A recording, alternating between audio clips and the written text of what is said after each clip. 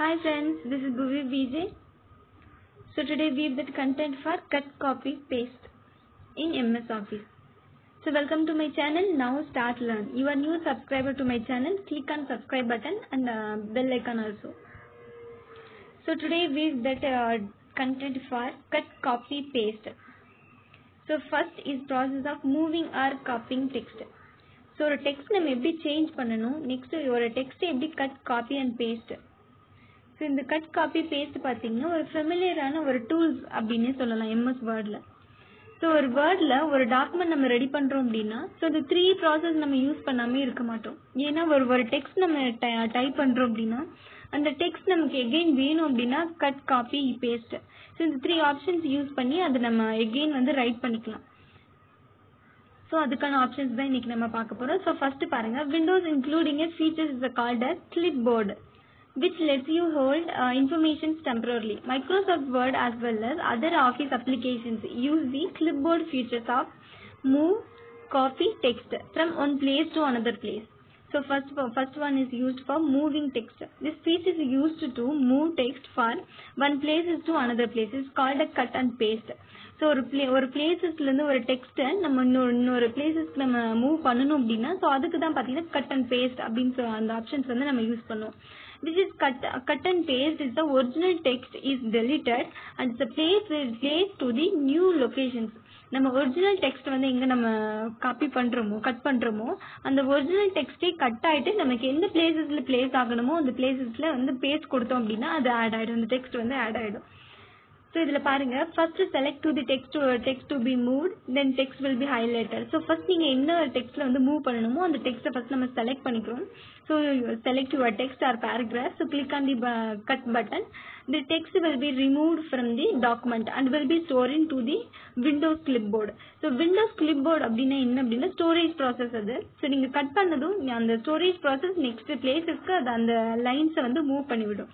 So இந்த cut copy பேஸ்ட்டுக்கு three process இந்த த்ரீ ப்ராசஸ்க்கு ஷார்ட்கட் கீஸ் என்ன யூஸ் பண்ணுவோம்னா ஸோ கன் கட் அப்படின்றது கண்ட்ரோல் பிளஸ் எக்ஸ் யூஸ் பண்ணுவோம். நெக்ஸ்ட் பார்த்தீங்கன்னா செகண்ட் இஸ் காப்பி காப்பி பார்த்தீங்கன்னா கண்ட்ரோல் பிளஸ் சி யூஸ் பண்ணுவோம். நெக்ஸ்ட் பேஜுக்கு பார்த்தீங்கன்னா கண்ட்ரோல் பிளஸ் பி யூஸ் பண்ணுவோம். ஸோ இதெல்லாமே ஷார்ட்கட் கீஸு ஸோ இதில் ஹோம் பேஜஸில் பார்த்தீங்கன்னா ஹோமில் க கட் காப்பி பேஸ்ட்க்கு ஹைகான்ஸ் வந்து யூஸ் பண்ணியிருப்பாங்க சப்போஸ் நீங்கள் வந்து உங்களுக்கு இன்னொரு ஷார்ட்கட் கீஸ் அப்படின்னா உங்களுடைய மவுஸில் ரைட் ரைட் பட்டன் கிளிக் பண்ணிங்கன்னா ஸோ அதில் கட் காப்பி பேஸ்ட் வந்து வியூ ஆகும் ஸோ அதில் நம்ம வந்து செலக்ட் பண்ணிக்கலாம்.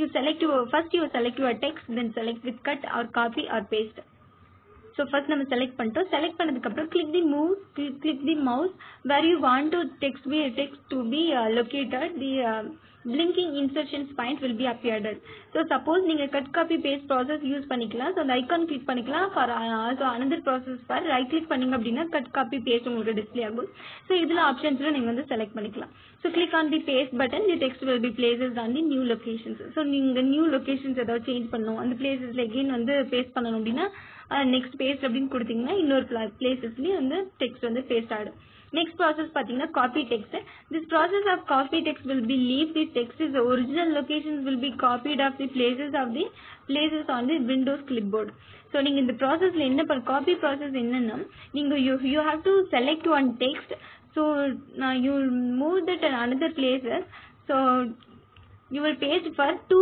two places of same texts so நீங்கள் ஃபர்ஸ்ட்ல எதில் காப்பி பண்ணுறீங்களோ அந்த டெக்ஸ்ட் எகெயின் நீங்கள் கீழே பேஸ்ட் கொடுத்தாலும் ஸோ பாட்டம்லேயும் உங்களுடைய லைன்ஸ் இருக்கும் டாப்லேயும் உங்களுடைய லைன்ஸ் வந்து டிஸ்பிளே ஆகும். ஸோ இதில் பாருங்கள் என்ஹான்சிங் டெக்ஸ்ட் வந்து நான் செலக்ட் பண்ணி உன் பேராகிராஃபை நான் செலக்ட் பண்ணி எகெயின் கீழே லொகேஷன்ஸில் பாட்டம் லொகேஷன்ஸில் அதை பேஸ்ட் பண்ணியிருக்கேன் so again text will be appeared so copy process cut copy means copy அப்படின்னா உங்களுடைய ஒரிஜினல் டெக்ஸ்ட்டை காப்பி பண்ணி எகெயின் பேஸ்ட் பண்ணும் ஸோ கட் அப்படின்னா அந்த ஒரிஜினல் டெக்ஸ்ட்டை டெலீட் பண்ணிட்டு நியூ லொக்கேஷன்ஸ் அந்த ஒரிஜினல் டெக்ஸ்ட்டை வந்து பேஸ்ட் பண்ணும் ஸோ இதுதான் கட் அண்ட் காப்பி அண்ட் பேஸ்ட்டுக்கு டிஃப்ரென்ஸ் ஸோ கட் அப்படின்னா ப்ராசஸ் வந்து டெலிட் ஆகிட்டு நியூ லொகேஷன்ஸில் பேஸ்ட் ஆகும். காப்பி அப்படின்னா ஸோ ஜஸ்ட் அந்த ப்ராசஸை காப்பி பண்ணி எகெயின் வந்து பேஸ்ட் பண்ணும். So next is two second main process for using drag and drop.